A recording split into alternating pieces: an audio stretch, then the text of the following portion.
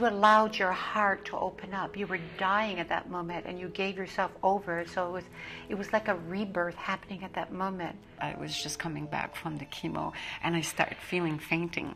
And I just happened to cross a mirror and I saw myself in the mirror and I got scared.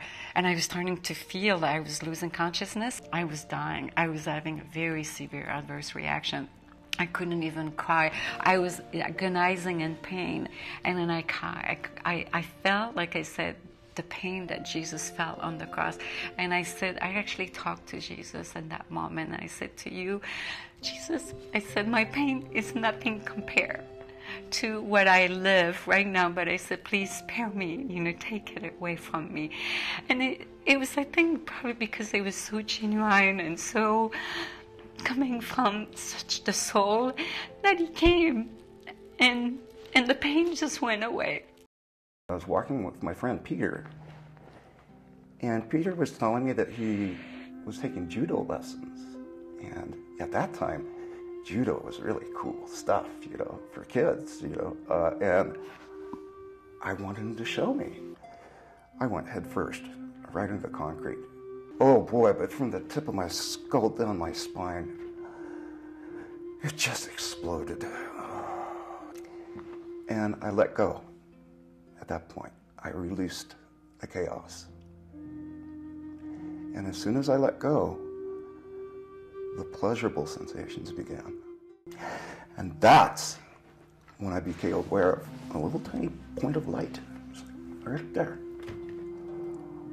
And it was intense and brilliant and, and like a zillion times brighter than the sun. It was so beautiful. And I knew I had to go there. But I, I don't know how I knew how to, I, but I, I did it. And um, that's where the love was. And I kind of got sucked into this light, got bigger and more intense and more beautiful. We need to learn to receive love. Welcome to the Art of Conscious Living.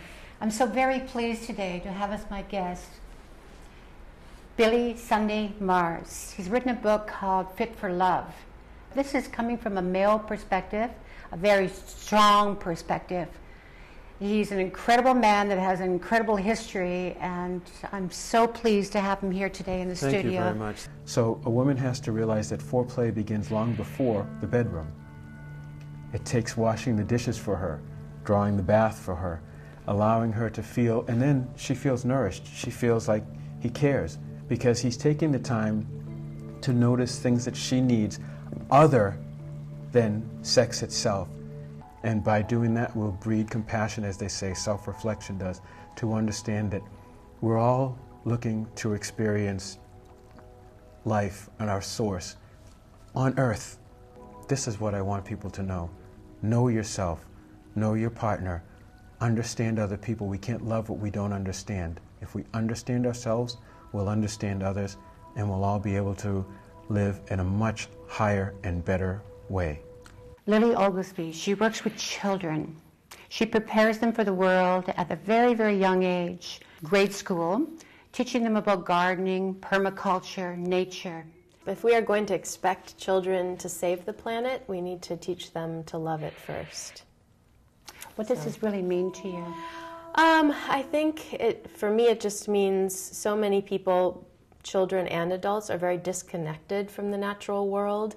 And yet there's all this talk, you know, we have to save the oceans, we have to save the forests there's some people who've never been to the oceans, who've never been in a forest. And so the work that I do um, is getting kids to the ocean, out in the forests, or just out in their own, you know, schoolyard garden, connecting with the natural world so that they have that bond, that understanding that lends itself to love of the natural world. It helps us to just wash away all that stuff that's kind of nonsense and that doesn't really matter in our life and get very real and on our path. And I think it really nature connection really supports us in, on being on our path, whatever that may be. So you've got puppet A, Republican, puppet B, Democrat, Democ- uh, Democons, neocons, same force, right?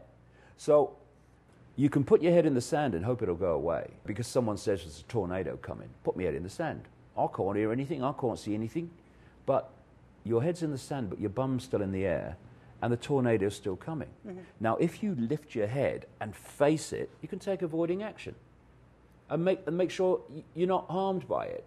You stick your head back in that sand, it's coming, and before you know what, you're spinning head over doodah in the sky. Right. And this is what we're faced with now, Victoria.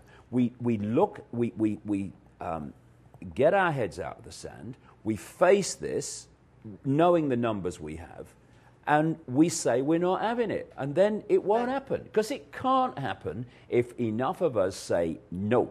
A man's relationship to his tears, how he learns to relate to tears. Some of the earliest things are, you know, they don't cry, be a man, grow up, I'll give you something to cry about. And so men actually lose contact with their ability to cry and to still be a man. We're supposed to eliminate some of these emotions and we're supposed to eliminate tears. You've been an educator in San Quentin prison for the last 18 years and now you're retired and you brought the peace program there. So what was that all about? And well, uh, where were feelings and crying and connecting to their to their pain? Where does that play into all of that? What we started doing in the program was when you peel back a man, you start going to what was he like as a boy? And where did he get the operating instructions about how to be a boy and how to be a man? 99% of the men that I worked with in San Quentin, when I asked them their first thing that they knew about tears, what was the very first thing you heard about tears? And it was, I'll give you something to cry for. Stop mm. crying. Be a man. And what I, what, I, what I live for now is the common unity of tenderness. You know, how tender can we be to each other? How forgiving can we be? How, how much peace and love and how much understanding can we generate?